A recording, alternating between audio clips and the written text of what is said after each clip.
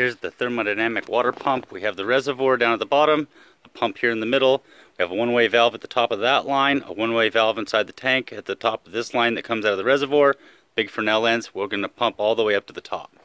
Okay, so we have a sunny day. Just wanted to show you the pump, the whole thing there. Um, what we're going to do now is we're using the Fresnel lens to generate heat inside of our pump canister. The pump canister has a tube coming in here which has a one-way valve. That one-way valve opens this direction. So the flow created by the vacuum drawing water up can allow water into the system.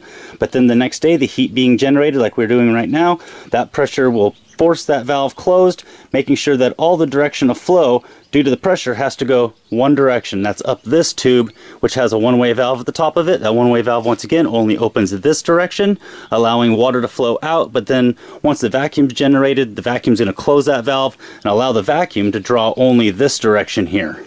So let's go ahead now and we're going to flip that Fresnel lens out of the sun and the cooling process here will begin. It's a little warm out here today, so it's not going to cool down real quick or get real cold.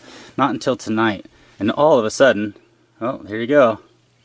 This kind of lift really quickly like this, even in hot daytime temperatures, lets us know that potentially with a shading system, or let's say even a uh, evaporative cooling system that we could incorporate with our pump can here, that would take a little bit of the water that would be coming out of the top and use that at a certain moment during our cooling cycle to generate some evaporative cooling to help this process along a little.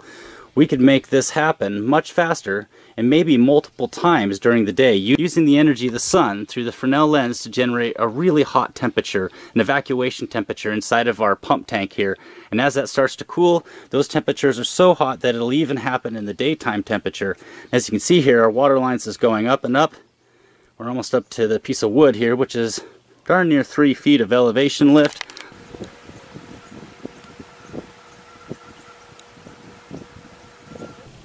There you go. That was the water being drawn up four feet in elevation into our tank. And right now, we're pumping water into our pump tank.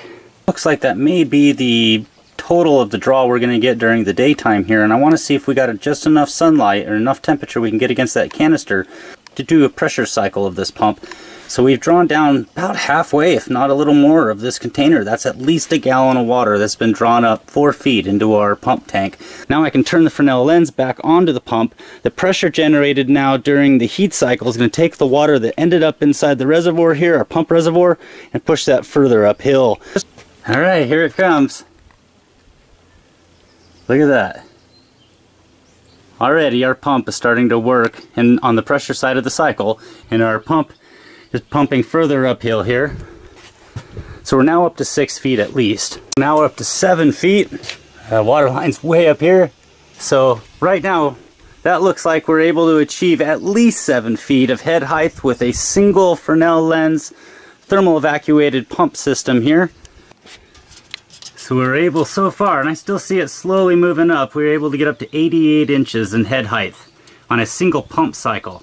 Now I have a feeling if I turn this back to a shade cycle again, allow it to draw more water into our pump tank and then do this again, each time we're going to be able to pump higher and higher as the volume of water inside of our catch tank here increases. Here we go. I've got water at 96 inches in elevation now pouring out of the top of our output. We've now been able to pump water 8 feet using the thermodynamic process from our reservoir into our pump tank using the sun right now and you can see nice stream of water coming out of there. Look at that. That would be filling another one of these pump tanks. So that would basically go into another one of these with another Fresnel lens up here at 96 inches. That could fill up once again with another Fresnel lens, heating it on the other side of the cycle, pumping it even further uphill. And the whole time I'm talking, it's just blowing out water. Look at that, folks. A working thermodynamic or thermal evacuated water pump. Until next time, I hope you enjoyed. This was Mr. Teslonian.